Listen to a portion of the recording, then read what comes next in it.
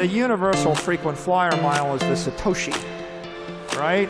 And Lightning is the method to deliver that.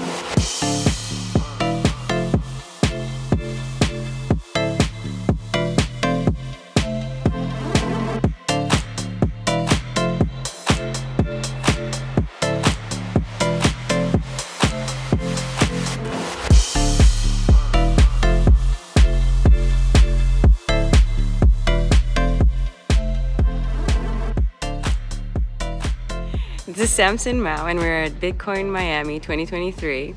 And I have a couple of questions about Lightning. All right. What's the most inspiring real world application that you've seen with Lightning? Well, I still like to think Lightning is good for micropayments. Yeah. Larger payments still have issues with routing, and I think there are other things like Liquid that can amplify that and make it better.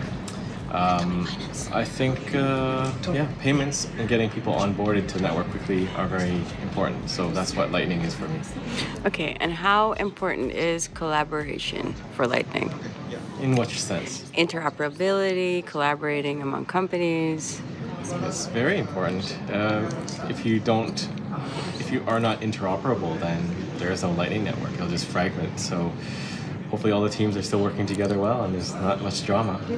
Okay, and what kind of advice would you give to someone that wants to start out with Lightning and wants to help in development? Oh, start out in terms of development, right? Mm-hmm. I would say first play with it. Run, uh, run a Bitcoin node, run um, a C Lightning node, CLN node, and just get started and play with it and learn about all the different aspects of Lightning and how to balance your channels and things like that. What's the most interesting thing about Lightning that you'd like to share? I think the most interesting thing about Lightning is how to connect it with Liquid using PeerSwap. Because that is a really good way for Lightning users to rebalance their channels. And I think that's largely being slept on right now. Really? Um, how so? Well, not many people are thinking like that, um, like how to deal with liquidity issues in Lightning. But there is that that new project called PeerSwap that can help people use Liquid to balance back. Okay, and how can we make Lightning easier for people to use? And what would you like to see developed? Well, Lightning is really already very easy to use. You just use a custodial Lightning wallet, and there's nothing wrong with that. Just like people still use SPV wallets on their phone, right? Mm-hmm. But um, I think it's not really an issue about uh, end user usability. It's pretty good right now. Like compared to Bitcoin years ago, it's uh, leaps and bounds ahead. But I think what we want is for ways that people can use Bitcoin without using it, use Lightning without the custodial services. And I think that's a road that people haven't really focused on yet. Okay, great. And what's something you'd like to share to the Lightning community? Check out Liquid. Check out Liquid. All right. Thank you so much.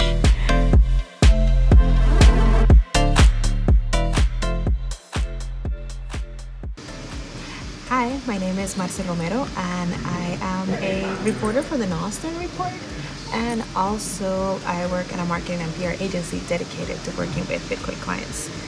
And today, I'm here at the Miami Bitcoin Conference doing a small interview about Lightning. Awesome. Thank you.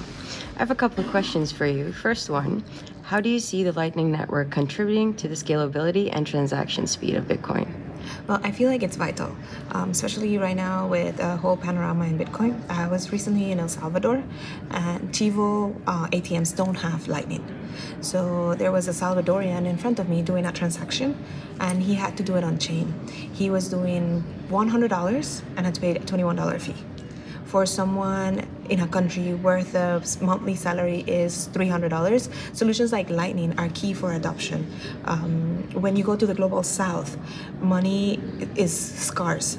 People work really hard for every penny that they have. Solutions like Lightning, uh, layer two solutions that are cheaper and faster, are exactly what's needed, not just for you to go buy your cup of coffee at Starbucks, but for people that actually send money back and forth to be able to survive on a monthly basis. All right. Second question. In your opinion, what are the main challenges that need to be addressed for wider adoption of the Lightning Network? There's a lot of questions regarding security. There's a lot of um, education questions. People don't understand what is a layer two, what's the difference between working on Bitcoin Core. Um, so it needs to be easier. Not everyone is going to be running a Lightning node. Not everyone's going. Not everyone that needs Bitcoin has the education to be able to understand Lightning at its at its um, core and Bitcoin itself. So we need to find a way to make it easier for people to be educated on it. Question number three. Can you share any successful use cases or real world applications of the Lightning Network that you find particularly inspiring? Actually, the people from Bitcoin Jungle in Costa Rica have done an amazing job. Um, I was there in March for Nostrica. Anyone that was there could tell you that at the level of education, any everyone was very well versed on how to use Lightning. You would go to a coffee shop, and it was not just the owner of the coffee shop who was into Bitcoin and into Lightning. Everyone there knew exactly how to use it. So for me, that is super inspiring. Awesome. How would you describe the Lightning Network to someone who's new to the concept? Okay, this is. I would make it like a peer program. so basically, I would tell people that if you want to send money back and forth, uh, Lightning does something similar to getting um, like money into a little pouch and then sharing that pouch with some others' pouches and connecting each other so that money can go back and forth from one place to the other. And then eventually all the transactions get put on, on the main network. I, it's a very vague explanation, but I think that's how I explained it to my mother, and she was able to understand it. no, it's a very simple explanation that's very clear and concise. All right, next question. Uh, how important is collaboration and interoperability between different Lightning Network implementations and service providers for the long-term success? I think it's very important. Um, I've seen a lot of wallets that simply don't are not like compatible. I'm not gonna name any, but they're simply not compatible with others uh, that stay in specific um, developments, and they want to push people to use Lightning in a specific way. And I think it needs to be again for it to be easy, for it to be adoptable, it needs to be open for all levels of users, um, from the ones that are running their own node to the ones that just need to have cash in their pockets and are going to be using hot wallets. So it's important that everyone understands that. All right, let's move on to the next one. From your perspective, what impact has the Lightning Network had on the Bitcoin community and ecosystem so far? It's huge.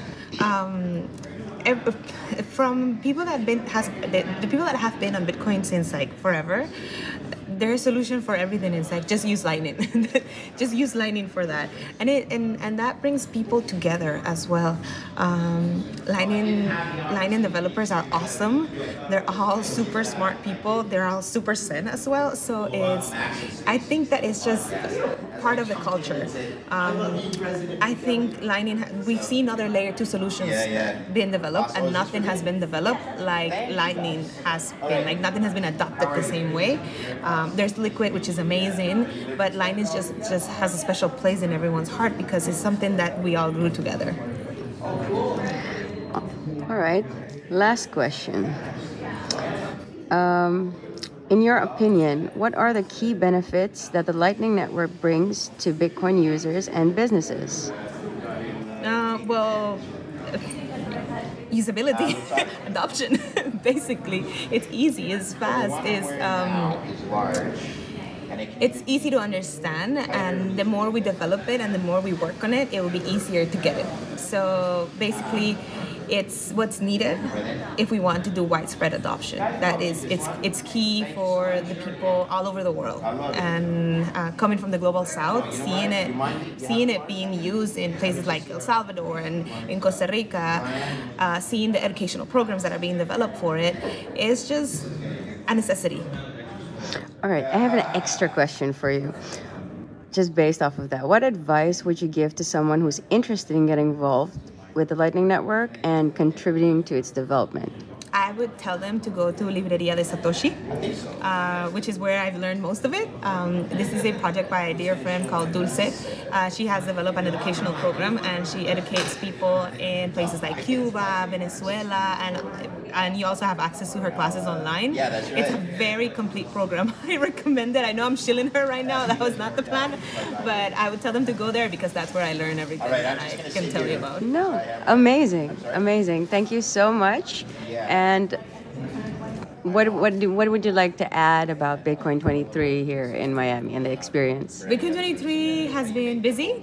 It's always fun to get to see other Bitcoiners. I'm just super happy to see so much Nostr on Bitcoin 2023. Next year, we should have our own stage. There's an element of All right, great. Thank you so much, Marce.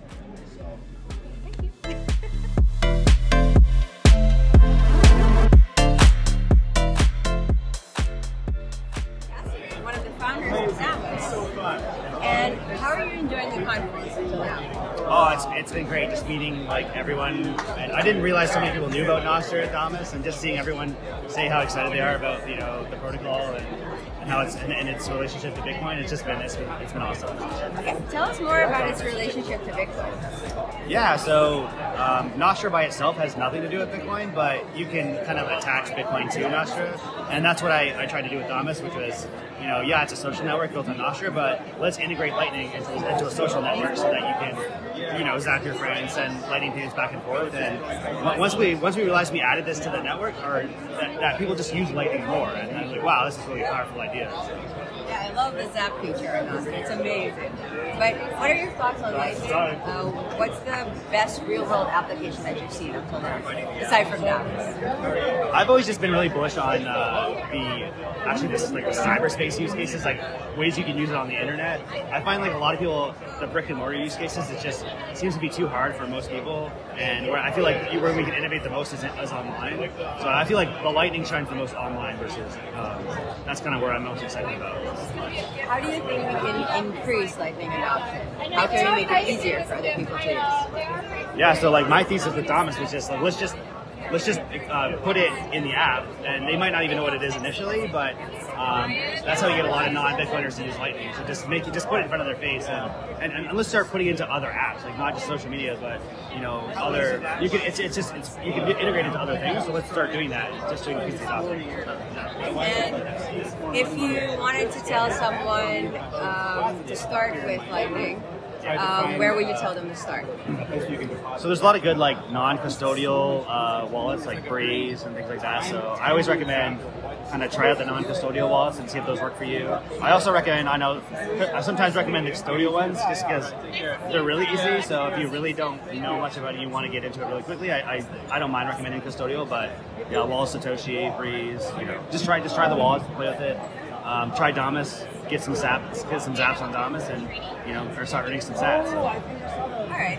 And if a developer wanted to get started on Damus and on Lightning, what would you tell them to do? Or how would you tell them to start? Uh, I mean, I, I'm kind of biased, but I, I really like Nostr as the playground for experimenting with some of these ideas. We have this concept called Zaps, which allow you to, you know, send Lightning over Nostr. So, yeah, so I think Nostr is kind of the best place for a devs to jump in, and it's really easy to get started. So, Great. Thank you so much. Um, is there anything you'd like to share to the Lightning community? uh, anything I'd share to the Lightning community? I don't know, maybe if you're not paying attention to Nostr, just check it out. There's a lot of things happening. There's a lot of acceleration happening in the, in the Nostr space or lighting applications. So, just if you haven't tried Nostr yet, just try it out. All right. And visit Nostr in Asia. Yeah, Nostrasia. So Nostr.world is the website. You can it's free. You only have to pay for your travel. So if you want to come check out like what we're building, what's what's coming into the future of Nostr, go to that website and uh, yeah, meet us there. Great. Thank you.